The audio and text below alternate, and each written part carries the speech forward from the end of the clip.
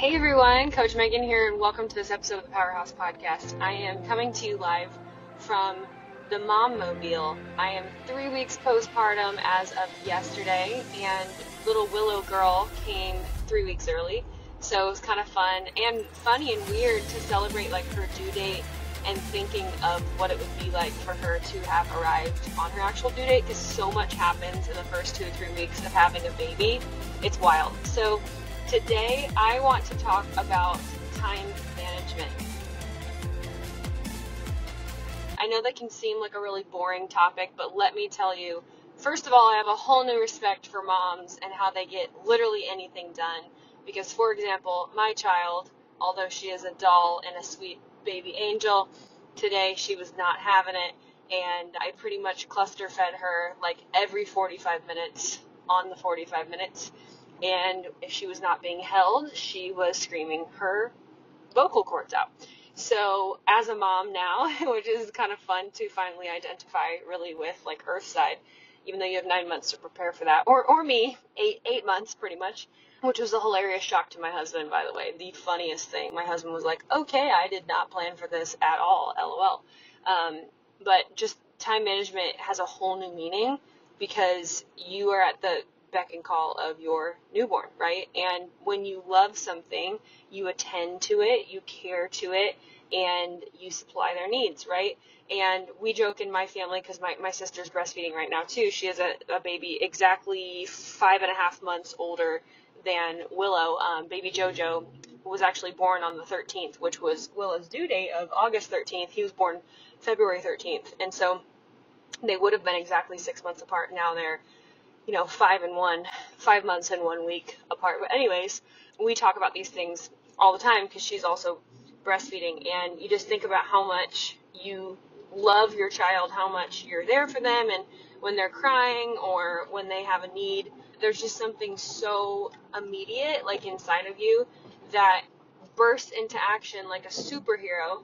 And it's so interesting because I've always been a person who's taken action. I've always been a person who has a good sense of the immediacy of things, right? Like you, you've heard me say on pretty much every podcast the last eight weeks, like leaders take action, consistency and certainty comes from action and confidence comes from certainty, right? On any strategy call that you have with my team, you're going to hear that as well. You're going to hear it in all my messaging. You're going to see it on the website because it, there's no way around it, right? But it's interesting being a mom, there's a whole new level of urgency. And part of time management is being able to create that internal urgency and to put down the notion of waiting for someone to pass you the baton or God to give you a signal or a sign or really anything externally outside of you giving you the baton, like I said, or the validation or permission to be able to take action on your dream. And that's something that I've learned so much in motherhood, right? Like I, I made a, a goal at the end of my maternity leave to be able to have my 30 day devotional done, which I'm so excited to release in the marketplace. We're going to mark my words, we're going to have it on, you know, Kindle and Audible and all these things by the end of the year. And then I'm also working on, drumroll, exciting announcement, an audiobook for you guys that is a free pageant book that you guys can go through. And so we'll rock and roll with our free course. If you haven't gotten that yet, go to the show notes and grab that and also the free audiobook that you guys can really just get to know my system, get to know me, get to know, you know, what can you expect when you join Powerhouse? Because my goal is that it's what you see is what you can, what you get when you join the family, when you invest in yourself. You're like, okay, this is exactly what I expected. This is cool. This is the same vibe and all that. But going back to what I was saying before, it's crazy how, point being, in motherhood, I have had to find completely new rhythms, you guys. Like, I used to be so consistent. I mean, you can ask my team. Like, I think it was Coach Kendra who was over at my house one day or just looked at my schedule or something. I don't remember. And for some reason, she, like, kind of saw behind the curtain. I mean, all my team can see my calendar. They know what I do every day. But there was, like, a defining moment where Kendra was like, dude, I actually, like, saw everything you got done today holy crap, how did you get, like, how do you focus for that long? How do you get this done? And I'll tell you, you know, I have ADHD and it has been very intentional. It has been very prayerful, first of all, too. And I made a decision, you know, when I first started my business, I was definitely not this consistent whatsoever. I remember sitting in the beginning of a day and being like, what the heck does a CEO work on? Like, what am I supposed to do? How do I prioritize things? Like, what is the most important? But in a business, I learned that the revenue generating activities were always the most important because if you don't have sales, then it doesn't matter how great your client success is. It doesn't great, matter how great your automations, your operations, you know, are shiny on the outside everything is. If you're not making sales, or you're a fraud and you don't actually have a great product, then your business is not going to last very long, right? And then I would say secondarily to sales is making sure that you can fulfill, that you're taking care of clients well. And when you have a really, really great product, it causes you to have to sell and market less because word of mouth naturally will spread like wildfire. So, anyways, I learned this over the past 10 years, and what's interesting is then motherhood smacked me in the face because I was not planning on delivering at 37 and 1, 37 weeks in one day. That's what that means, by the way, for you non moms. And it was a reckoning. Uh, you know, she spent four days in the NICU, and and then we take that baby home, and all of a sudden you are not sleeping at all and your sense of control is completely bombarded by this human that needs you 24 7 that your heart just loves and adores and time stops when you look at them and you're figuring it all out and your hormones are going crazy and your body is going crazy and you know there's fluid coming out of every part of your body postpartum pretty much and you're learning how to breastfeed and you're learning what your baby's cries mean and it's it's very overstimulating. And you might be going through a season of change right now where you just feel massively overstimulated. You feel like everybody needs you wants you is grabbing at your attention and it's just massively overwhelming. And so i'm here to tell you that I've, I, i'm going through that right now.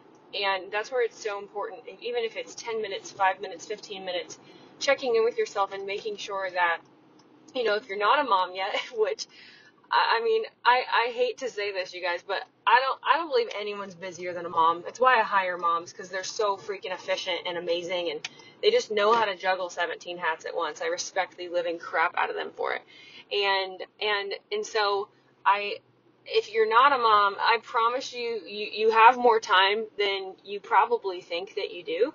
And part of it is just asking the Lord and submitting to the Holy Spirit like, hey, I, I need help. I, I don't have the answers that I feel like I need. And Holy Spirit, I need you to come in and give me ideas for how to not just get through this season, but to thrive in this season. And those are a lot of the questions that I've been asking. And for example, Willow slept all of three hours last night and three hours like at once. And it felt like a gift from God. And so it's, it's so cool because when you make a decision to be intentional and you make a decision that you are, you know, we're going forward. We've chosen this dream. We're like, I'm, I'm creating my own urgency. We're going to make this happen. Like, no matter what the cost is, like, I'm going to manage my time. I'm going to get through. I'm going to become the next level version of myself, these different things. Strategies will naturally reveal themselves and you'll be able to operate with, with less and still do more, right?